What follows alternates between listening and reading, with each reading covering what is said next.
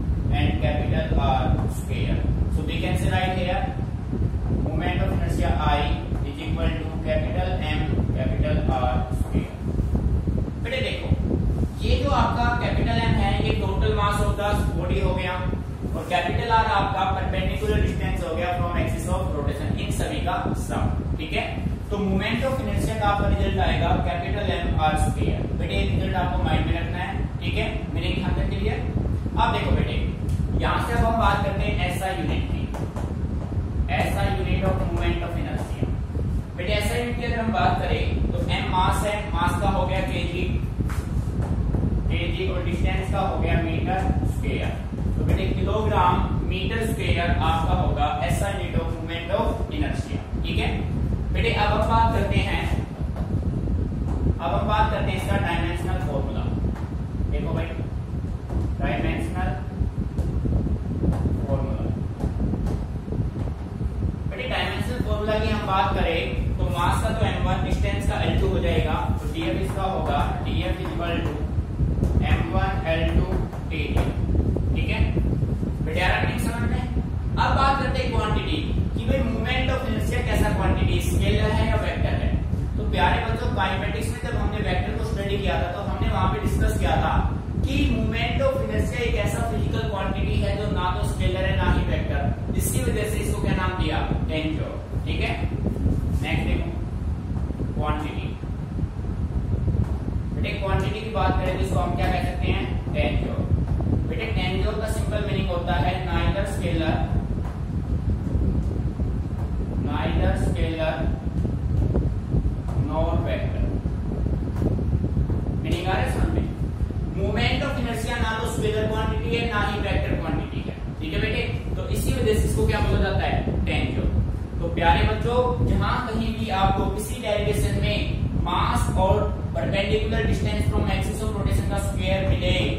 इसका मतलब वो किसको रिप्रेजेंट कर रहे हैं? That represent movement of inertia so प्यारे बच्चों रिज़ल्ट आपको माइंड रखना है. I is equal to M R square ये ना तो स्केलर क्वांटिटी है, ना ही वेक्टर इसी वजह से मूवमेंट ऑफ़ इनर्शिया को बोला जाता है टेंजर ठीक है बेटे?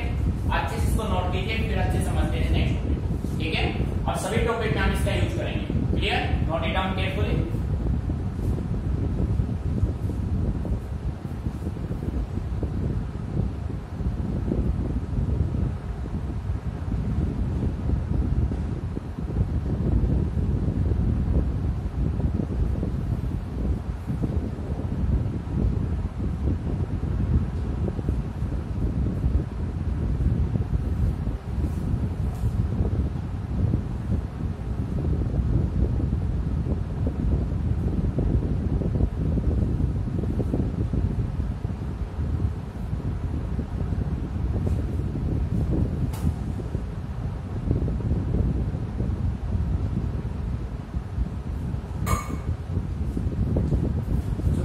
una franja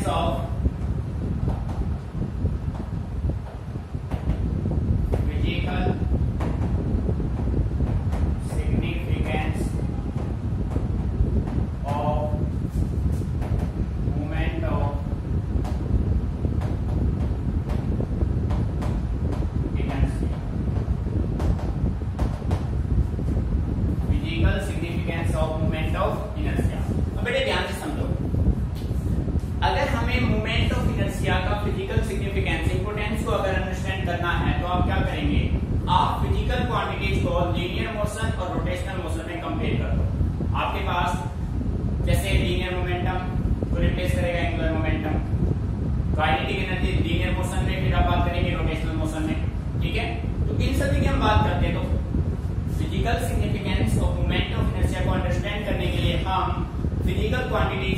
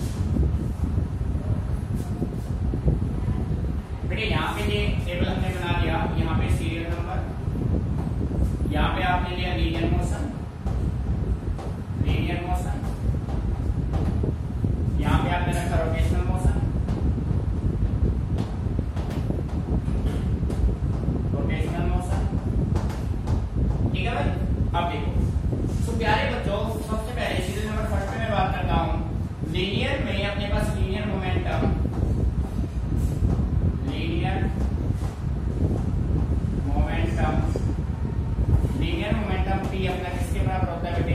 एम पी होता है ना? लीनियर मोमेंटम की equal to M P mass velocity तो बेटे यहाँ पे लीनियर मोमेंटम है तो यहाँ पे क्या होगा?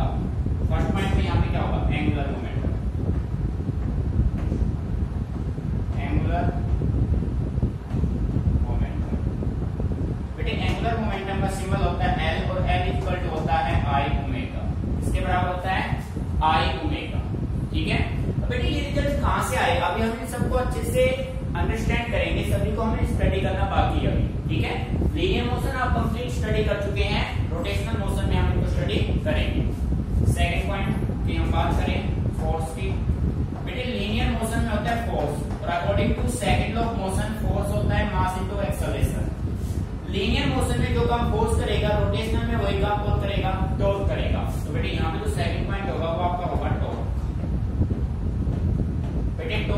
tau is equal to r cross F.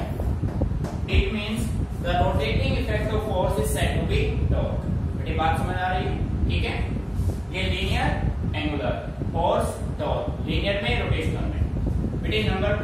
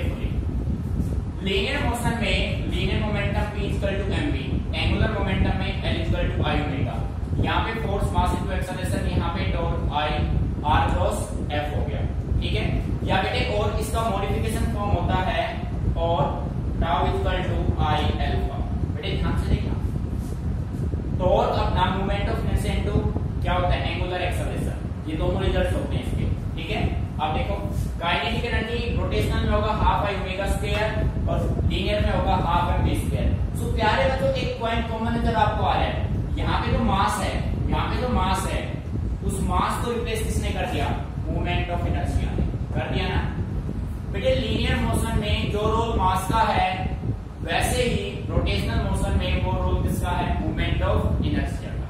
मैंने कहा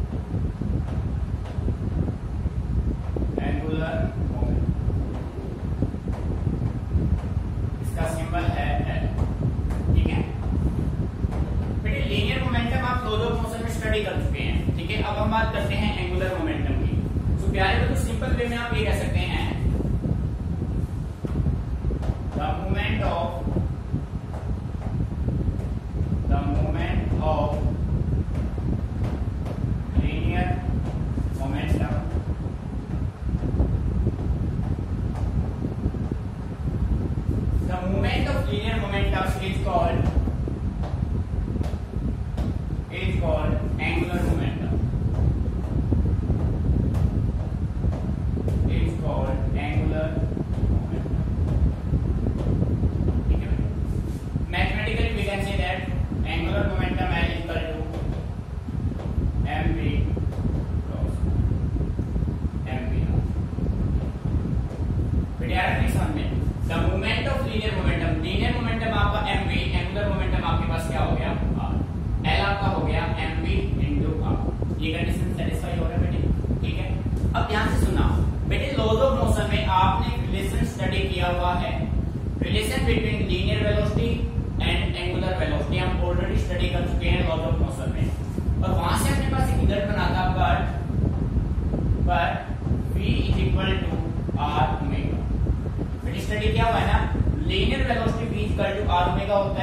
ओमेगा है एंगुलर वेलोसिटी वैल्यू पुट कर दीजिए L equal to M R omega into R L अपने पास क्या हो जाएगा?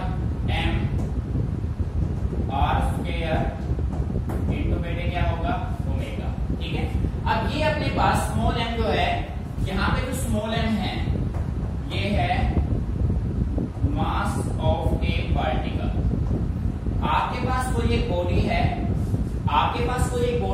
बॉडी में मैनी पार्टिकल्स हैं और उन मैनी पार्टिकल में से एक पार्टिकल का मास स्मॉल है। तो बेटे मैं यहाँ पे राइट कर सकता हूँ। For complete body for complete body बेटे कंप्लीट बॉडी के लिए यहाँ पे क्या होगा? समेसन एम आर स्क्र इसके बराबर होगा। कैपिटल एम ये किसके बराबर है बेटे? I so we can say write here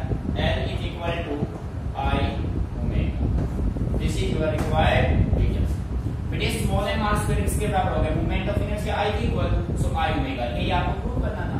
भाई, अभी जब आपने लीनियर मोशन रोटेशनल मोशन को डिफरेंट को डिफरेंशिएट किया तो आपने देखा एंगुलर मोमेंटम एल किसके इक्वल था? I omega I moment of inertia omega angular velocity ठीक है, बेटे? Note it down carefully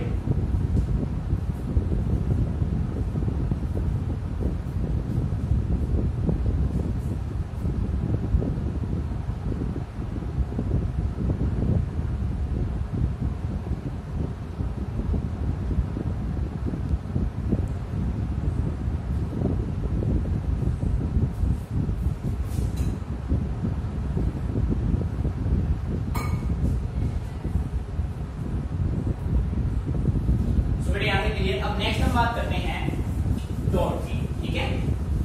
heading नाम ये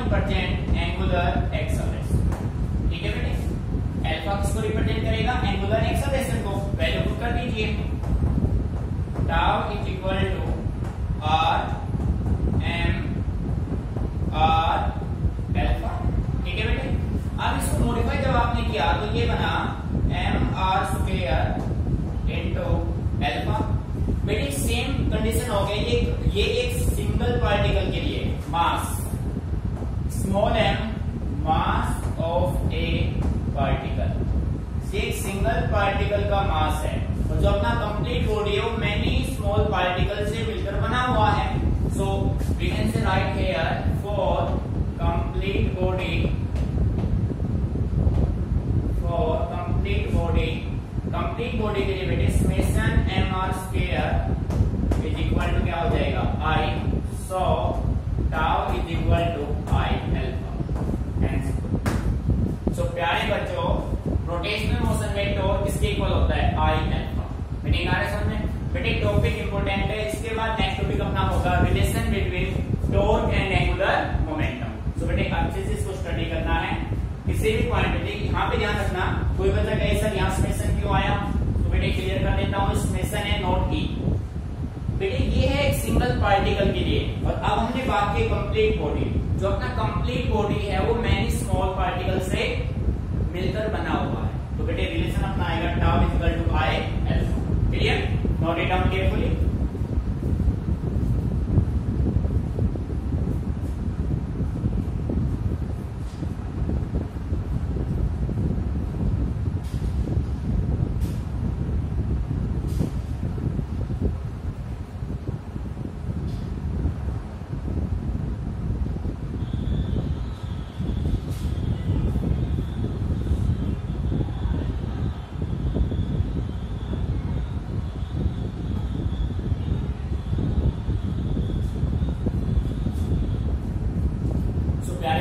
आपको टॉपिक कराए हैं, जैसे प्रीवियस लेक्चर में हमने क्या था? Example of centre of mass and some numerical problem तो बेटे सेंटर ऑफ़ मास से रिलेटेड जो भी प्रॉब्लम आपके बुक में आप उसको इंप्लीमेंट कीजिए।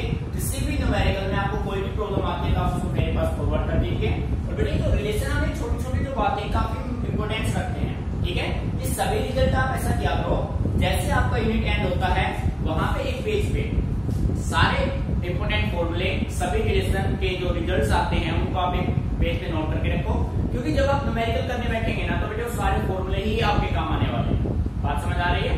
तो अपना एक शेड्यूल बना लो कि जैसे भी आपका कंप्लीट होता है लास्ट में सारे फॉर्मूले एक जगह आपको कलेक्ट करने हैं, ठीक है?